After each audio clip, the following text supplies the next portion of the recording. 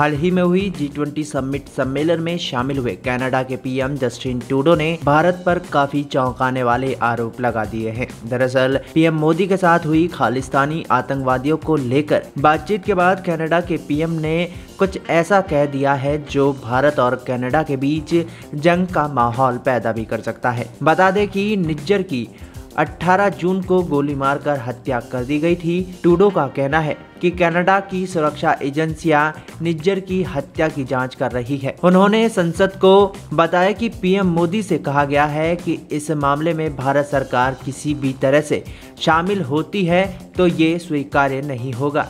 और जाँच में सहयोग की मांग भी की गई है। टूडो ने कहा कि कनाडा के नागरिक की कनाडा की धरती पर हत्या में किसी भी विदेशी सरकार का शामिल होना स्वीकार्य नहीं होगा। उन्होंने कहा, बीते कुछ हफ़्ते से कनाडा की सुरक्षा एजेंसियाँ सक्रिय होकर कनाडा के नागरिक हरदीप सिंह निज्जर की हत्या और भारत सरकार के एजेंट के बीच संभावित तार होने की जाँच कर रही है। इधर कनाडा के विदेशी मंत्री मेलनी जॉली ने भी बताया है कि कनाडा में भारतीय खुफिया प्रमुखों को बाहर का रास्ता दिखा दिया गया है। हालाँकि अधिकारी का नाम सार्वजनिक नहीं किया गया। उन्होंने कहा, अगर ये सच साबित होता है तो ये हमारी संप्रभुता और उस नियम का बड़ा उल्लंघन होगा जो तय करता है कि देश आपस में किस तरह काम करेंगे। जॉली ने यह भी कहा कि टूडो ने इस मामले को अमेरिकी राष्ट्रपति जो बाइडेन के सामने भी उठाया था। कनाडा सरकार में मंत्री डोमिनिक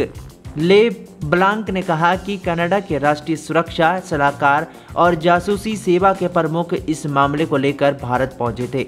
अब ऐसे में ये भी देखना काफ़ी दिलचस्प होगा कि पीएम मोदी का कनाडा के पीएम जस्टिन टूडो को आखिर क्या जवाब देते हैं।